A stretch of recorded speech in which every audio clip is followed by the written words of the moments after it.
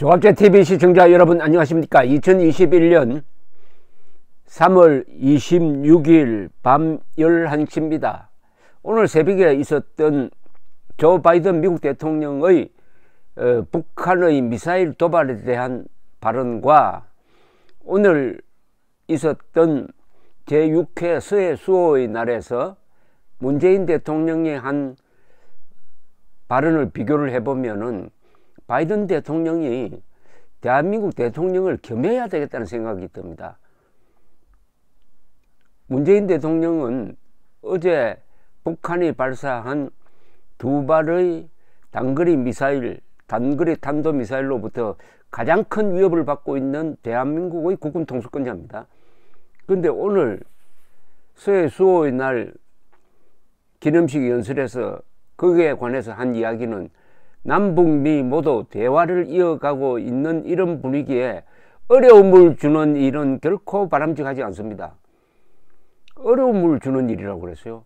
이렇게 애매모호하게 할 사안입니까? 어제 발사한 두 발의 미사일은 이거 아주 신형입니다. 그리고 날아가면서 기동을 할 수가 있습니다.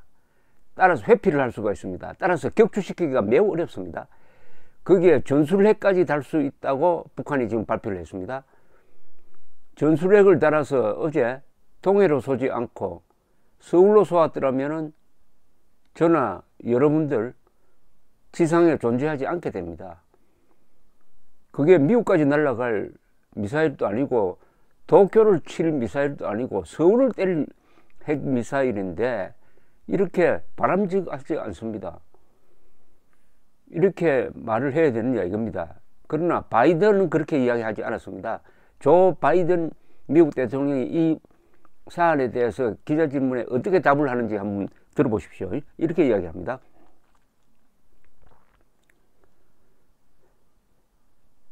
먼저 그들이 시험한 특정 미사일들은 유엔 안보리의 대북결의 1718호에 대한 위반입니다. 그들이 긴장을 고조시키기로 선택한다면 대응이 따를 것입니다. 우리는 그에 맞춰 대응할 것입니다. 딱 이렇게 이야기합니다. 얼마나 말이 쉽습니까? 우선 처음부터 딱 규정을 합니다. 이것은 유엔 안보리 제재 결의 위반이다. 법적인 문제까지 딱 들이댑니다. 두 번째는 계속 소면은 상응해서 대응하겠다라고 이야기합니다. 그런데 미국 대통령이 딱 이렇게 움직이니까 오늘 유엔 안보리의 제재위원회 제재위원회를 미국이 소집을 했습니다. 완전히 트럼프와는 다른 다른 행태를 보이고 있습니다. 트럼프는 어떻게 했느냐 하면은 단거리 미사일 쏠 때마다 그 미국 본토에 아무런 영향이 없다. 라고 이야기를 했습니다. 그러나 유엔 안보리의 결의 위반인 것은 분명한데도 그 부분에 대해서도 트럼프 대통령은 별로 뭐 신경 쓰지 않는 것 같았고 그러니까 문재인 대통령도 그리고 국방장관도 이게 유엔 안보리 제재 위반이라는 말을 명시적으로 하지 않는 거예요. 그러나 바이든은 딱 부러지게 이야기를 합니다. 딱 부러지게. 제재 위반 1718호 위반이다. 딱 규정을 해버립니다. 그, 그걸 바탕으로 해가지고 계속 에스컬레이션 하면은 우리도 거기에 상응해서 대응하겠다. 그 다음에 대응을 했어요. 어떻게 대응을 했냐. 제재위원회를 소집을 했습니다. 제재위원회에서 어떤 결의가 나올지는 모르겠지만은 앞으로 계속하면은 제재 더 강화하겠다. 이런 뜻 아니겠습니까? 또, 외, 또 바이든 대통령은 이렇게 이야기했습니다. 외교로 접근할 용의가 있지만은 그 외교는 반드시 비핵화를 만들어내야 하는 외교다.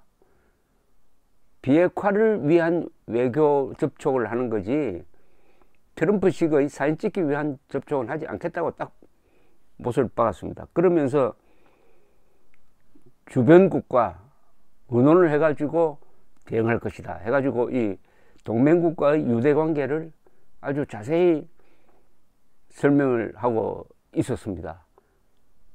트럼프 대통령이 부정선거로 떨어졌다고 하면서 바이든이 나쁜 사람이다.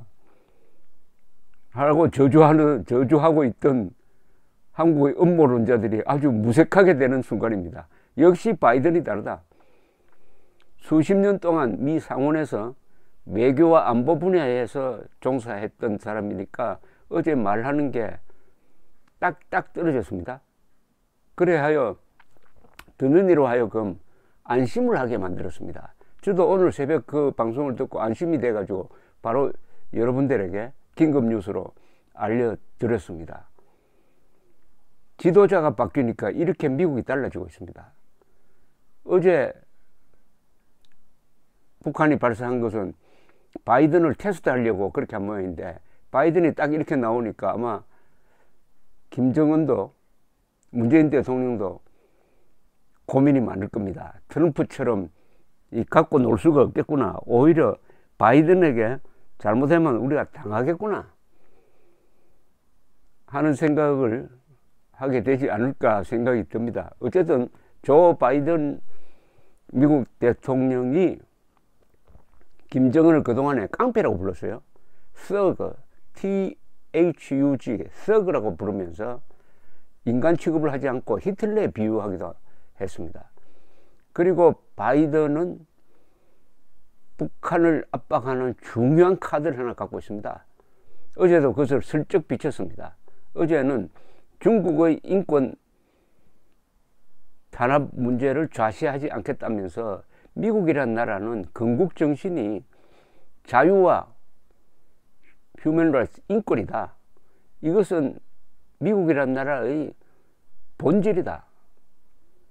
앞으로 이 카드가 바로 중국을 넘어서 북한을 겨냥하게 될 것입니다. 김정은이가 가장 아프게 생각하는 것이 유엔이 북한 인권 보고서를 통해서 김정은을 반인도 범죄자, 즉 인류의 적으로 규정한 겁니다. 그리고 형사재판소, 국제형사재판소에 회부해야 된다 하는 결의를 유엔 총회가 해가지고 안보리에 넘겨놓았는데 안보리에서 러시아와 중국이 협조하지 않으니까 지금은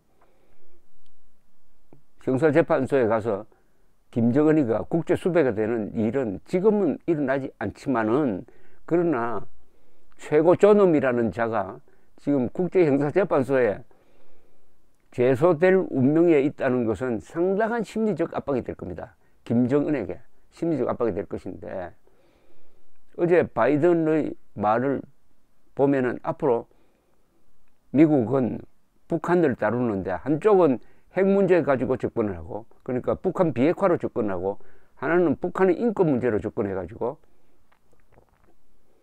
히틀러, 스탈린, 모택동보다 더 악독한 북한의 반인도 범죄를 들추어내고 폭로하고 그리고 이것을 국제 여론화하는데 적극적으로 나설 가능성이 상당히 높습니다.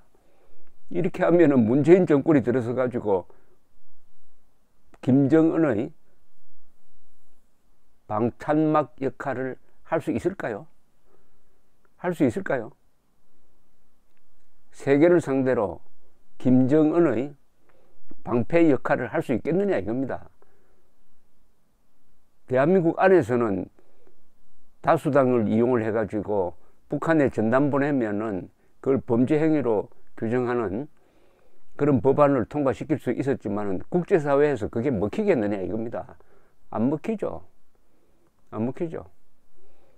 어쨌든 트럼프 이후에 바이든이 등장해서 최초로 직접 미국 대통령이 김정은에게 경고를 했습니다. 그 여파는 상당히 심각할 것이라고 보입니다. 아마 북한이 지금 내부적으로 이 경제 문제로 해서 상당한 코너에 지금 몰리고 있을 것으로 추정이 됩니다.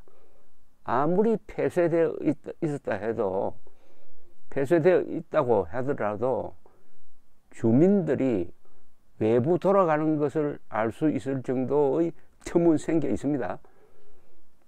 그런데 코로나를 계기로 해가지고 중국과 한만 국경지대까지 꽁꽁 막음으로써 사실은 북한의 어떤 생명선이라고 할 수 있는 두만강, 압록강의 이 밀무역까지도 상당한 지금 타격을 받고 있습니다. 근데 이게 누적이 되고 특히 김정은이가 약간 개방 해 보려고 하다가 코로나 때문에 주춤하고 다시 원위치하고 말았습니다. 그리고 대북 제재는 풀려지지 않고 있습니다. 대북 제재, 코로나로 의한 셀프 제재가 두 개가 지금 겹쳐서 북한의 경제를 악화시키고 있습니다. 이 수치만 보면은 어떻게 이렇게 해가지고 체제가 버틸 수 있느냐 하는 생각을 갖게 합니다. 어떻게 이렇게 해가지고 핵폭탄을 만드느냐. 물론 핵폭탄을 만들기 때문에 다른 희생을 감수하고 있는 거죠. 그러나 그 핵폭탄이란 게 쓸, 쓸모가 없게 되면은 그처럼 허망한 게 없습니다. 북한이 가지고 있는 핵폭탄을 쓸 수 없게 하는 방법은 간단합니다. 전술핵, 빼간 전술핵을 다시 한반도에 배치해버리면 됩니다.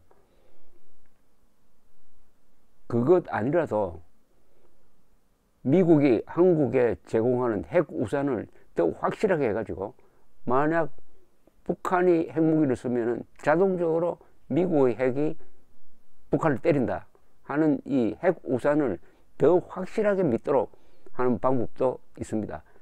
한미동맹이라는 것은 미국의 핵을 한국의 핵처럼 사용할 수 있다는 의미가 그 안에 포함되어 있습니다. 그러나 이게 작동하려면 한미동맹이 강해야죠. 문재인이 지금 한미동맹을 흔들고 있습니다. 약화시키고 있습니다. 그러나 오늘 새벽에 있었던 바이든의 짤막한 대응을 보면서 많은 한국 사람들이 안도했을 것이라고 생각합니다. 아, 저런 바이든이 있으니까 이제는 문재인, 김정은의 술책에 넘어가지 않겠구나. 그 문재인이 임기가 이제 1년하고 한 두 달밖에 남지 않았다. 그 다음 들어설 정권이, 정권이 설사 문재인의 후계 정권이 되더라도 지금 문재인이 했던 것처럼 더 작용화할 수는 없을 것이다. 라고 미국은 판단하고 있지 않을까 그렇게 생각을 합니다. 어쨌든 좀 서글픈 이야기지만은 바이든이 하는 역할이 한국 대통령을 지금 겸한, 겸한 모습을 보이고 있습니다. 대한민국 대통령과 대한민국의 관련 장관은 김정은 편으로 가버리고 바이든 대통령이 대한민국 대통령이 해야 할 역할을 대신하고 있다. 참 희한한 상황이지만 그래도 트럼프보다는 낫다 이겁니다. 고맙습니다.